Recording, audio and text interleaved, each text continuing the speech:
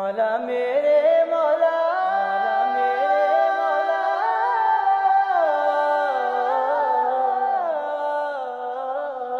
तेरे हरम की क्या बात मौला?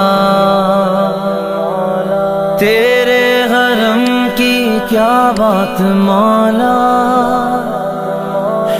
तेरे करम की क्या बात मौला? तेरे हरम की क्या बात मौला तेरे करम की क्या बात मौला ताउम्र कर दे आना मुकादर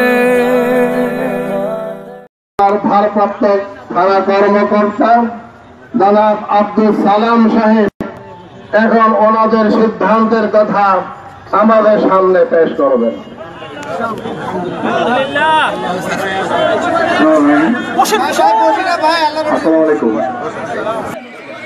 আসলে আমাদের জেলা পরিষদ মদস্ত আমাদের মাননীয় পুলিশ সুপার মহোদয় সাব ইন্সপেক্টর নিয়োগ পরীক্ষায় বর্তমানে অবস্থান করছেন। তো এই পাশাপাশি সরকারের শীর্ষ পর্যায়ে যারা আছেন তাদের সাথে আমাদের ডিসি এবং মহোদয়ের কথা হয়েছে। সামগ্রিক আহ, প্রেক্ষাপটে মূল বিষয় হলো যখন যেই প্রোগ্রামে যেই করুক না কেন যে কোনো প্রোগ্রাম করতে হলে তার আবেদন করতে হয় এবং ওইটার আইন শৃঙ্খলা নিয়ন্ত্রণটা হচ্ছে পুলিশ আইন শৃঙ্খলা বাহিনী এবং প্রশাসনের।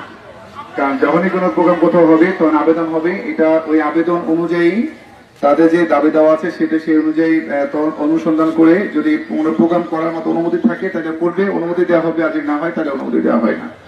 তো এই- বিষয়টা নিয়ে স্যারদের সকলের সাথে কথা হয়েছে, কথা বলার প্রেক্ষিতে যে সিদ্ধান্ত হয়েছে, সেই সিদ্ধান্তগুলো আপনাদের মধ্য থেকে যারা প্রতিনিধিত্ব করেছেন, পাঁচ সাতজন যারা গিয়েছিলেন, সেই পাঁচ সাতজন অলরেডি তারা শুনেছেন যে কি সিদ্ধান্ত হয়েছে। আবার গতকালকেও ঢাকায় যে মিটিং হয়েছে, সেখানে কি সিদ্ধান্ত হয়েছে সেটাও আপনারা অনেকেই জানেন।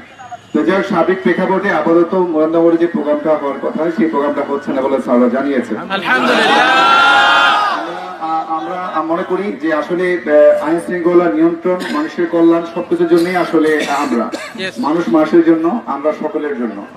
কোনো কোনো এলাকায় আইন শৃঙ্খলা অবনতি হোক অনিষ্ট হোক এটা আসলে কারোরই কাম্য না।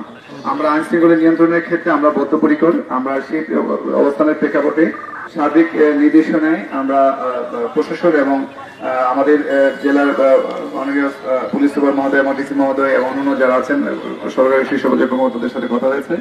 যে ধরনের প্রোগ্রাম আপাতত হচ্ছে না। যদি এ ধরনের কোনো কিছু হয় পরবর্তীতে সেটা ভিন্ন বিষয় কখন হবে কোথায় হবে কীভাবে হবে সেই বিষয়গুলো যারা ছিলেন তারা জেনেছেন অলরেডি আপনারা তাদের মাধ্যমে বিস্তারিত জেনে যাবেন ইনশাল্লাহ সবাই ভালো থাকবেন সবাই সুস্থ থাকবেন। আর সবাইকে অসংখ্য ধন্যবাদ যে আপনারা সুশৃঙ্খল ভাবে আপনারা এখানে অবস্থান করেছেন। এবং যেভাবে অবস্থান করেছেন যেমন যেভাবে এসছেন সবাই সুন্দর করে সুশৃঙ্খল ভাবে যেন সবাই যার যার কর্মস্থলে এবং যার যার প্রতিষ্ঠানে সবাই যেতে পারেন। এই আশাবাদ ব্যক্ত করছি সবাই ভালো থাকবেন।